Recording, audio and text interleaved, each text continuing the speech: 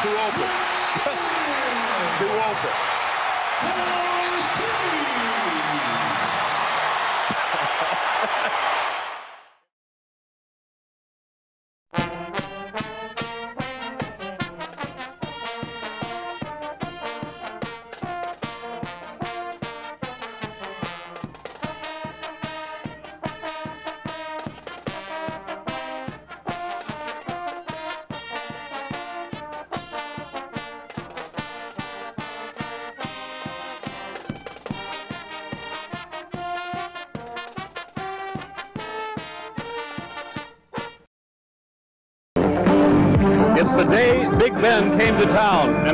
crowd at the Carver Arena is ready for a rematch on homecoming as Benoit Benjamin and the Creighton Blue Jays square off with the Bradley Braves. Hello again, everybody. I'm Frank Bassoni, and this is Mike Dimick, and we welcome you to this homecoming matchup. Mike, they did it once before this year and a few times earlier, but the question is, can Bradley again stop Big Ben? In three years, the Braves have really done a pretty good job with Benoit Benjamin. You never know, though. The guy's capable of scoring 45 points in one game. He's done it this year. Came back and scored 43 the net. He can be trouble. So can number 22, Vernon Moore. He's averaging 22 points a game. The Braves are faced with double trouble today. To lead goes 6'10". Creighton in blue is the ball, and we're underway. Sit back and watch homecoming. The Bradley crowd stands. Bradley starts man to man. Interesting, Frank. That's the kind of defense that Benoit Benjamin's been exposing all year long, and he doesn't get Right there, an Benjamin. Starts with a dude. Oh, I see man-to-man pressure. Vernon Moore is 22. Double zero pin. Benjamin. Well, he shot 10 times the first time Bradley played him. Now he shot two in a minute. I asked Willis Reed, how did Benjamin get 45 and 43? He said they played man-to-man. Hersey Hawkins tries to answer, and Benjamin has four points and a rebound. Vernon Moore dribbles as high as anybody you'll see at 6'2". Inside Benjamin, three in a row. Six. Out of Creighton, six. That easy. Man-to-man, when, when the other man is seven feet and as talented as Benjamin is becoming, just is not going to work. And it's only taken about two minutes to find that out. Gary Swain will be the guy to watch because he's a zone buster. Reggie Morris is a pretty good shooter, too, so watch him. Lob inside to Benjamin, and he is tackled by Derek Parks before he can shoot a layup. It's a two-shot foul, and Benjamin understood it. Well, what the heck? At least he didn't score a basket, which is better than the other three possessions, and that's what it takes. Set up zone. Moore is the kind of guy who likes to penetrate against zones. He is not scared of going into a 2-3. Gary Swain shoots over the zone, and Creighton hasn't missed. This is why Bradley has struggled, or at least been so-so.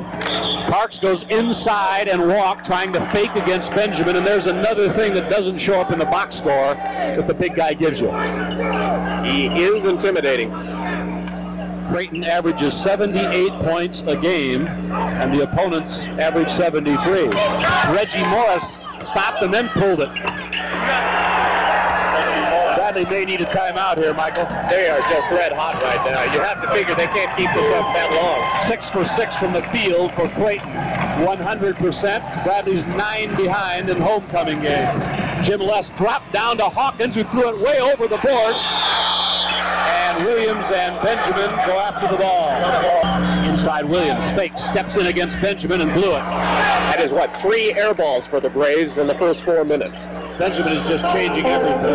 This is homecoming. Swain, the ball. He's got a 10-footer. Landreth ball. Boy, everybody pulls up and just hits.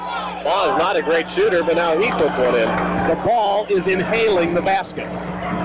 It's a magnet. 16 to 3. Moore wing right. He does not shoot deep shots.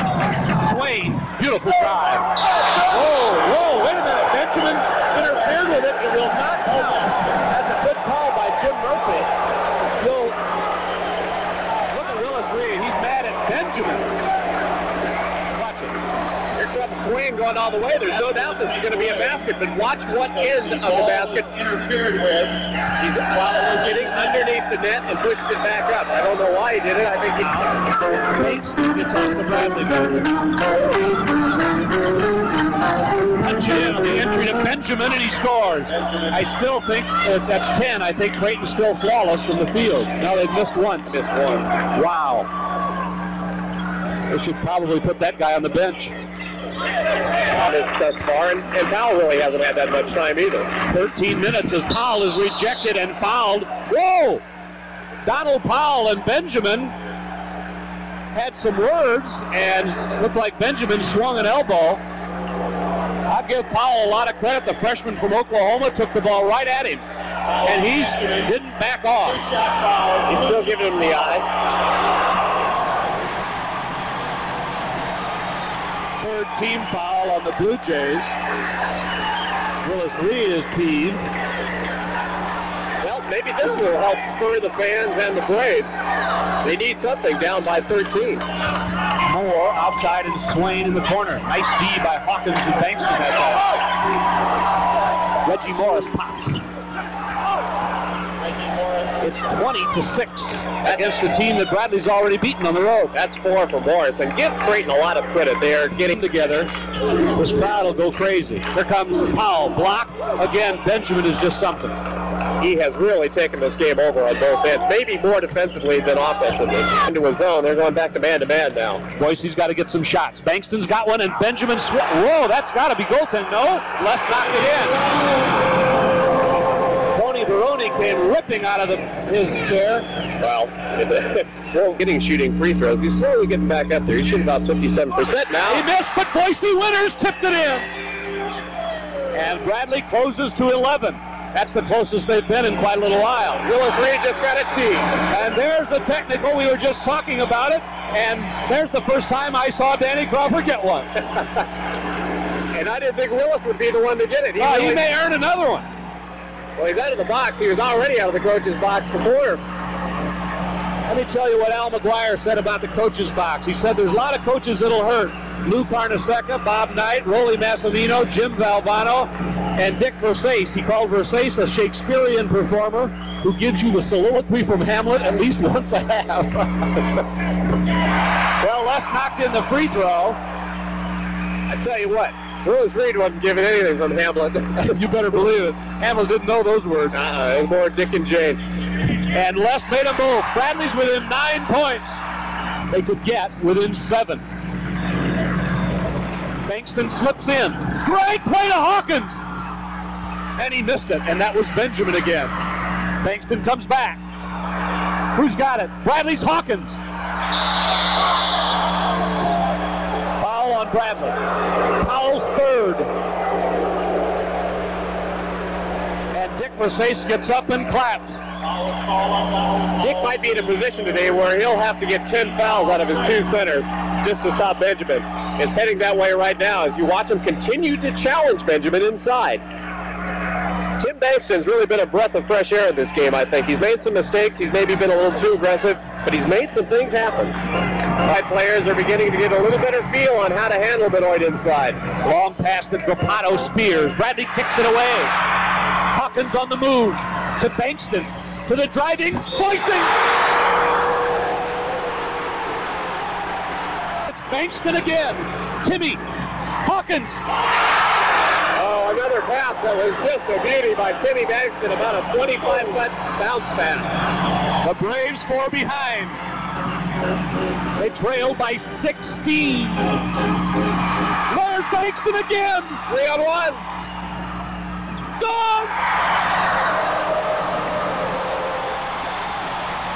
Timeout break! Bradley's within two! Swain is free. Tipped in by Benoit. Benjamin. Great play by Benjamin. He has a dozen. That helps stopped. Mike Williams. Oh. Nothing called there on a collision between Williams and Benjamin. It's Bradley's ball, I believe. He really set the tough post. inside Swain. He just squares up so nice. He's got that textbook shot, half a dozen. Pretty good player out of Dallas. Actually, The entry is in. Voise turns, blocked by Ben with three fouls to block. And traveling on Bradley, a tough break. Bankston fell down. here's a look at what happens. Watch Voise come in, takes the one dribble and goes straight up. It's just not a fair match. Benjamin is too accomplished a shot blocker. That's where Bradley wants Benjamin, deep in the corner.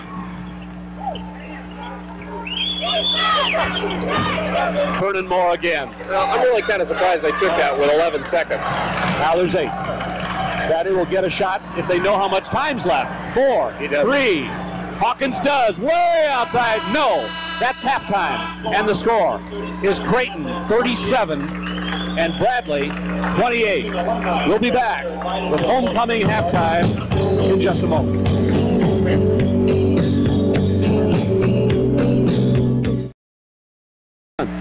Wondering what that was. I heard that in my ear. I thought you chewing on your mic. More lobs across to Reggie Morris. Uh, They are just shooting a great, great percentage, and Bradley's going to have to cool them off, or they'll lose.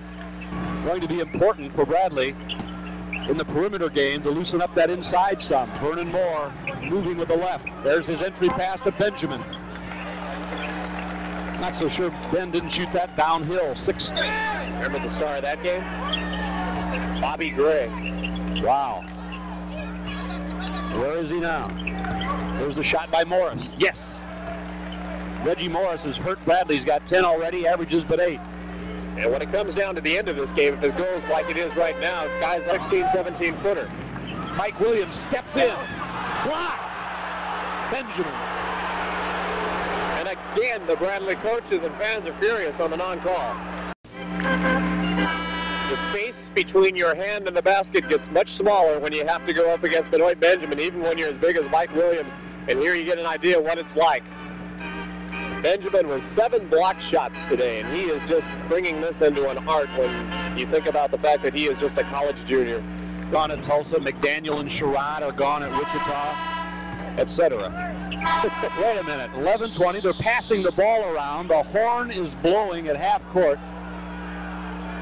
I think we have a technical foul. Who did not? Number 10 for Creighton did not check in. Brad Johansson, our statistician, tells me that's Renard Edwards, a sophomore from Chicago Providence St. Mel. That's a technical foul against Creighton. That will be one shot and the ball. Renard Edwards. Edwards is a sophomore, as you mentioned, out of Providence St. Mel. He missed last year to work on his on his studies. I thought we had roller derby here or something with the horn just going off three Wasn't or four something? times. He was the most valuable player, Renard Edwards, in the Illinois High School All-Star game here. Jim Les missed. Jimmy's made. 48 to 40, Creighton. 11:20 left in this rather bizarre second half. Benjamin still with three fouls. Of course, the enforcer for Creighton. In it goes. Mike Williams blocked by Benjamin. Eight blocks. He's too much. Oh, a nice play by Jim Les and stole the ball. Here he comes on the fly. Pull up one-hander. Oh! Big Mike rebound. 11 for Mike Williams, and again the fans get into it. and The Braves are only down by six. See his lips going. Handle it either.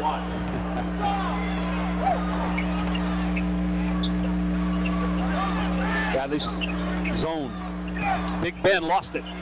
But he got it back and scored. Ball, his man. He sees Voise for the stinger.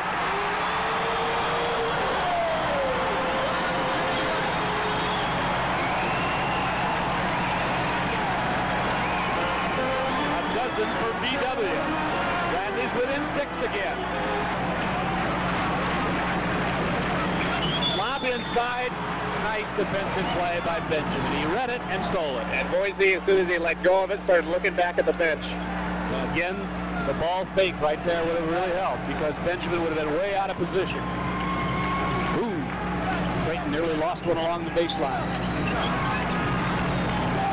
From the the first lob going to be thrown for a dunk in this game? Voise or Benjamin? Who's going to get it? Vernon Moore wheels in. A dunk by Benjamin that one came late. I think Williams just fouled out. 20 seconds on the 45-second clock. The Braves might want Edwards to hold the ball. If you go over a 40-minute period, he averages about 10 turnovers a game.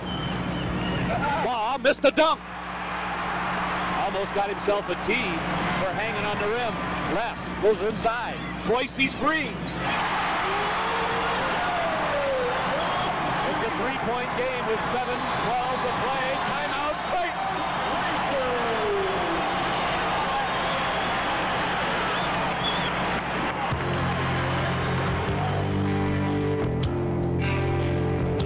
Tempo. They're really scrambling now on defense. Under seven minutes. Benjamin.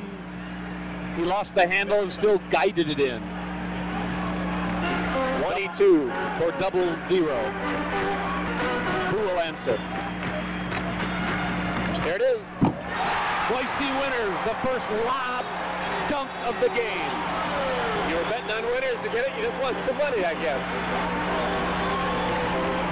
He's not a good ball handler. Let's see if when he gets the ball, Bradley pressures him. He lobs inside and Powell stole it and fouled. Fouled out. I'll tell you what. Donald Powell is gone. Donald just told Dick he elbowed me. Powell's out. Dick Versace.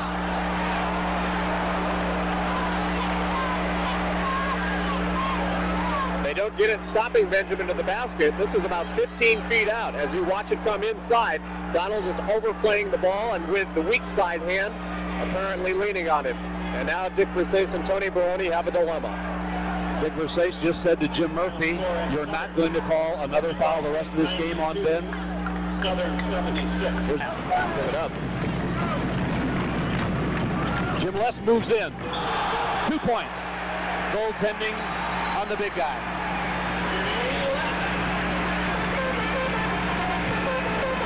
Willis Reed doesn't have a harness on Benjamin. He tells him go after anything you think you can get. Sometimes that's going to end up in goaltending. Les had 14. Look how they won't guard Parks at all. Now Benjamin comes out. Well, he shouldn't shoot anyway. Man to man for Creighton. And a foul on ball holding Voise Winters. And the crowd roars. and Dick Versace is holding up the number one. First team foul on the half. Second team. First team foul on the half. That's right. To play to 444 at home to get one foul called against Creighton. Can you spell facetious? No, but I can spell mad. Bradley stays zone. Creighton's worked the clock down to 15 now. As soon as Bradley goes man to man, they'll just zero it inside to that man. And Benjamin has built the total to 27. Now Bradley's pressure must take effect. It's a trap on the half court. And Les makes the steal. Bradley's got a chance. Up ahead. Oh, Benjamin stole the walk. He did steal it, and he did walk. Great try by Les to get the ball over him, but that's like throwing it over. a couple like this. Well, he's two out of three. If he misses this, he'll have half of it. No, you're right. Oh, a long rebound to Creighton, but Moore fell down and walked, and he just yelled at Tim Bankston. And Bradley shoots for a tie. While players walk to one side of the court, the official and the ball go to the other. What else could happen? I think indicative of this game. Their feet. 2.42 left. 58-56. Creighton. Bankston. Jerry Thomas is blocked. Jerry Thomas is blocked.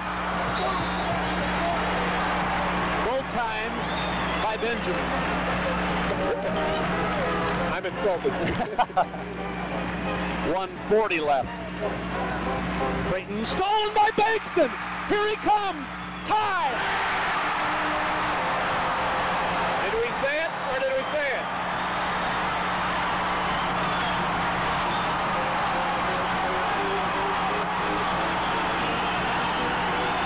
Long lob to Morris. They want Benjamin. 117 left. Bradley has it. Bankston brings it up. What a game. It's a homecoming special. 105 to go, so the Braves have to take a shot. Bradley's only got one timeout left. Here we go. There's Voise. Hawkins. Goal! He got it.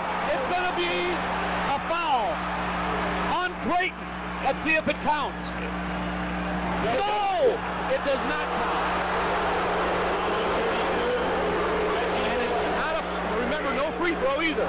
Apparently they called it there right before he went up. If you're in the NBA, that's continuation and it counts. In college, they'll say it didn't count. And so they'll take it in bounds.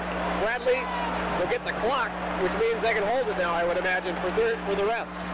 And Bradley, who has never led in the game, would have if Hawkins' shot would have been allowed. The clock is off. The 45-second shot clock is off. 22 seconds in the game. We're tied at the Civic Arena. Bradley's going to try to take a shot at the end and win it. Wow. Landreth Boz watching Voise Winters down low. 12, 11, 10, 9, Bankston, 6, 5. Voise Winters, a low, long shot, rebounded by Benjamin overtime.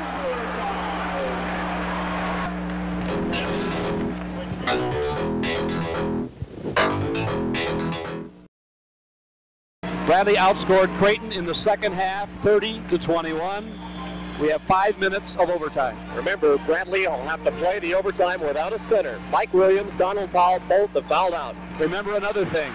Only two team fouls on Creighton means Bradley will take the ball out unless it's a shooting foul. Voise. Bradley still doesn't lead, and Benjamin has it. Bradley can't get the lead. Overtime.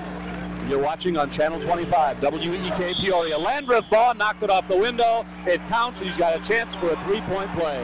They have to shoot that. He does. The game is tied as Jim Les has 16. That's probably a season high. Thanks Bankston over talking to the coach.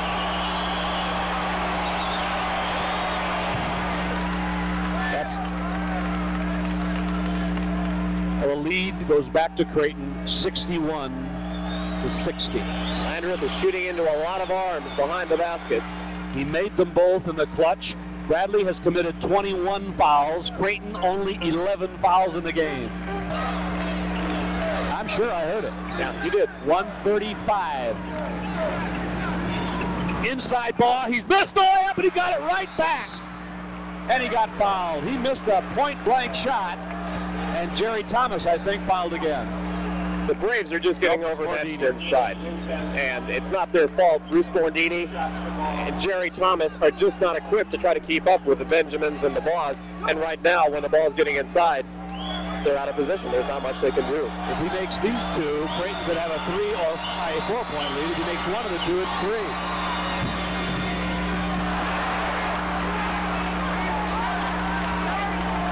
Bradley's in trouble. There's only a minute and a half in overtime. Remember, they get a timeout given to them because there's an overtime. That they ran out and add a timeout for overtime. Bradley's four behind. Need a basket and a steal. Let's see if they can do it. Creighton stay down in the zone. Voise Winters is inside. He got it. There's the basket. Bradley wants timeout. They got it. We'll be back with the final 117 in a moment.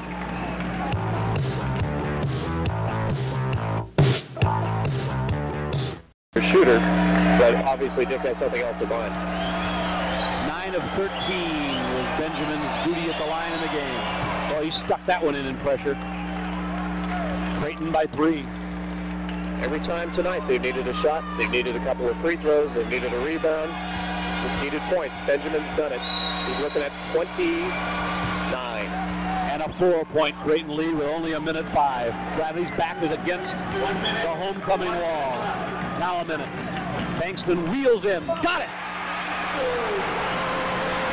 Bradley, no timeouts. They have to immediately press. And a foul will have to be coming here. Swain is fouled by Jerry Thomas in the backcourt. One in bonus for Gary Swain, who is an 81% foul shooter, 47 seconds in overtime, and Creighton with the advantage. Back at half court is Benjamin on your picture there in the middle. That's Swain. He got it. Give him credit. They don't blink under the pressure. Only seven for Swain in the game. With a 24-point-a-gamer in high school. The clock is Bradley's problem, 47 seconds. Swain nailed two. Can Bradley answer again? Last time Bankston took it in. This time he slaps it into Thomas, who is rejected by Benoit. And that may do it. At Peoria, after losing to the Bradley team in Omaha, Bankston comes reeling down the court. He's going to go all the way and dunk it at three. 71 to 68 is the final. And Dick Versace hustles over to congratulate Willis Reed and the Creighton Blue Jays up their impressive record to 16 and 6. They go 5 and 3 in the conference. And we'll come back at the Carver Arena in a moment.